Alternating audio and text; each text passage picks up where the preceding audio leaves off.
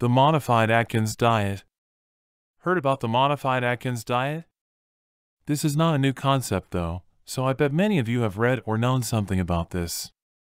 This is in fact known throughout the world as the more improved version of the traditional ketogenic diet that had been applied for centuries by thousands of families throughout America and the world. The modified Atkins diet first appeared in the scene in 2003 when the first paper stressing its nature was published.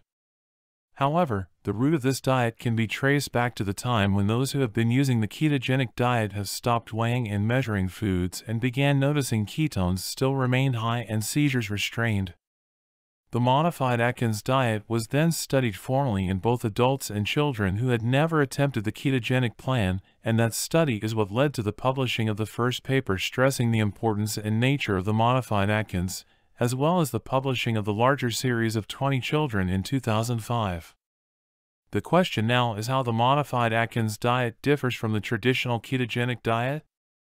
The foods recommended in the traditional ketogenic diet remains the same in the modified Atkins. However, certain differences between the ketogenic and modified Atkins diet have emerged and most of these are based on the restrictions maintained.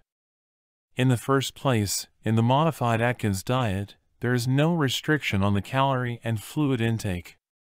Aside from this, no limits are set on the intake of proteins regardless of the fact that fats are strongly encouraged. Lastly, in the modified Atkins diet, the foods are not measured or weighed, but the counts of carbohydrates are controlled by the dieters themselves. From those set of restrictions, the modified Atkins diet then encourages lots of foods that are high in fats such as eggs, mayonnaise, hamburger, bacon, oils, heavy whipping, and butter. Also, children and adults who are affected by seizures are advised to intake fluids and other flavored waters.